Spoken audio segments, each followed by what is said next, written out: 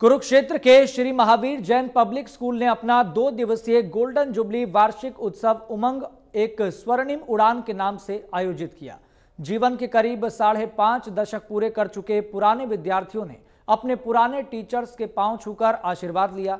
वहीं स्कूल प्रबंधन द्वारा गोल्डन जुबली वार्षिक उत्सव पर पुराने टीचर्स और विद्यार्थियों को सम्मानित भी किया। वहीं स्कूल के पुराने विद्यार्थी, जो कोई जर्मनी में पहुँचा तो कोई ऑस्ट्रेलिया कोई दिल्ली, कोई गुरुग्राम, कोई लुधियाना तो कोई फरीदाबाद से। पुराने स्कूल में करीब चार दशक बाद यादें ताज़ा करने पहुँचा।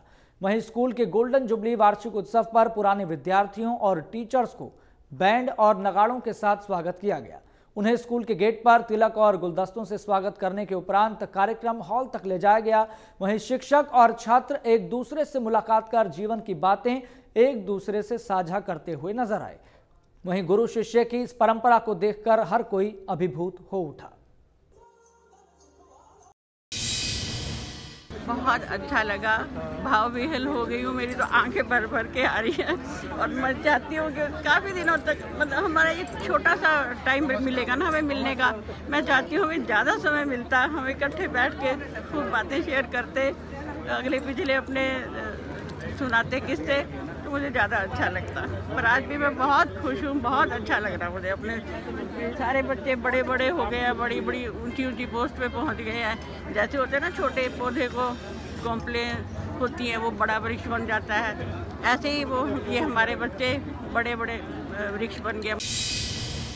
सर, आज हमारे स्कूल में स्कूल का एक एनुअल फ़ंक्शन मनाया जा रहा है। हमारे स्कूल को 50 साल पूरे हो चुके हैं शिक्षा के क्षेत्र में अपना कार्य देते हुए। और जिस तरह से आप सभी का विश्वास निरंतर हमारे साल 50 साल तक बना रहा है यही उम्मीद करते हैं आप सबसे कि अगले आने वाले 50 सालों में भी आप सबका हमारा सहयोग रहे। बहुत अच्छा लग रहा है। कुछ बच्चे तो पहचान में नहीं आ रहे, इतने बड़े बड़े हो गए हैं। लेकिन अपना और उनका वो टाइम बिताया हुआ एटीज़ के वो ध्यान आ रहा है। और अब देख के भी ऐसा लग रहा है कि हमारे बच्चे इतने बड़े बड़े हो गए हैं, इतनी अच्छी अच्छी जगह पे सेटल्ड हैं। बहुत अच्छा लग रहा है उनसे मिल के आज।